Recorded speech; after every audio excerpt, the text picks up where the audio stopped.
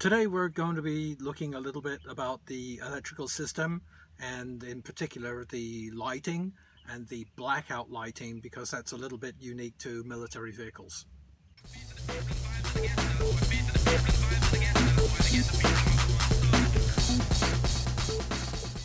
Lighting switch is very similar to the one found on old MB or GPW Jeeps.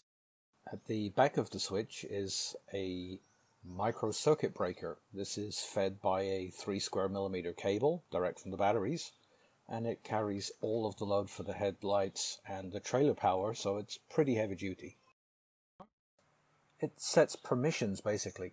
While it does work like a normal switch to direct power through the fuse box and onto different lights, it also outputs to control a relay behind the dash which determines which brake lights are going to operate and whether or not service lights will operate.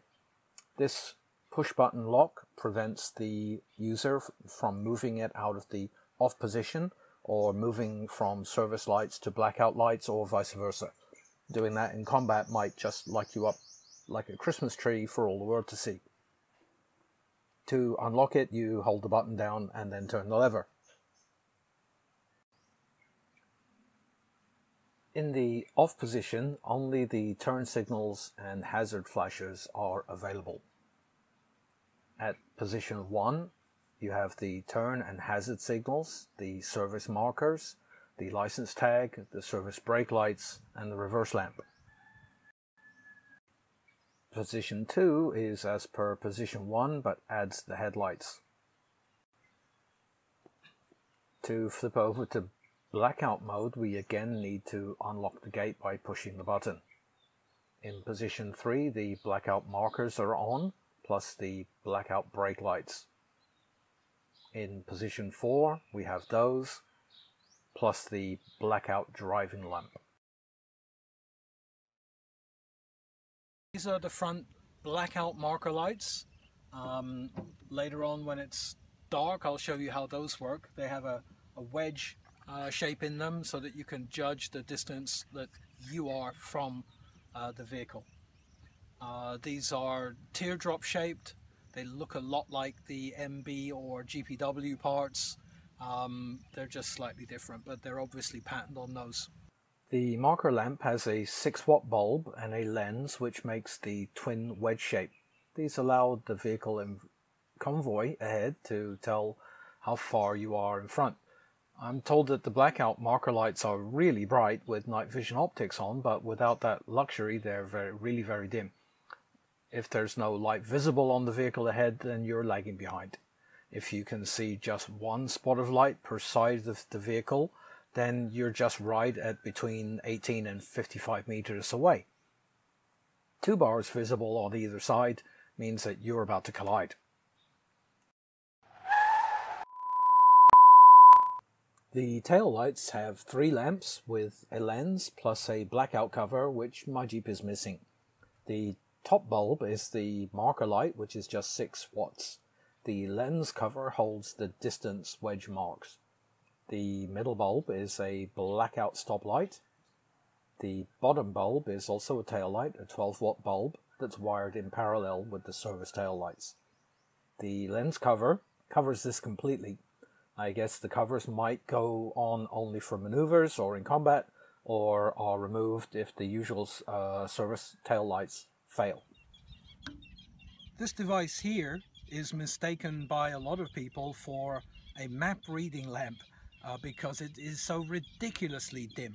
It has a 12 watt bulb and looking underneath you can see that the lamp itself is mostly shielded and there's only a very small slit for the light to shine through and then you've got this hood here which makes sure that the light just shines right down onto the floor. So right up close that seems fairly bright with its 12 watts but and that's a little slit of light that comes out of the filtered hooded blackout driving lamp. service mode, then we have switches for the marker lights, the headlights, hazard flashers, and uh, panel light and front fog light. In addition to those uh, light buttons, uh, we also have here the windshield wiper uh, pull switch. Um, this button is labeled for a fan. I don't have a heater installed, so this one controls the, uh, the windshield washers. And here we have uh, actually a 24 volt cigarette lighter. Very nice of the Japanese army to think of your nicotine addiction. The panel light, not very bright, but it does charge the luminescent gauges, which is which is nice. The headlights, just for completeness, are seal beam units. They're uh, 55 watt dip, 75 watt main beam. The, uh, the Mitsubishi feature is these uh, bash guards, which of course you'd never see on a CJ3B.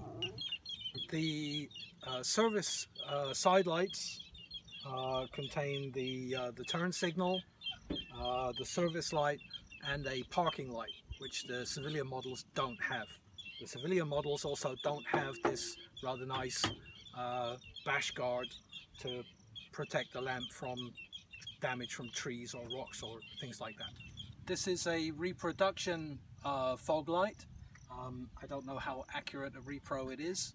Um, it's a 35 watt fog light. In the back uh, we have the uh, service uh, turn signals, the service stop and tail light which is com a combo light. Um, this is again a repro uh, reversing lamp. And that's all we have time for today.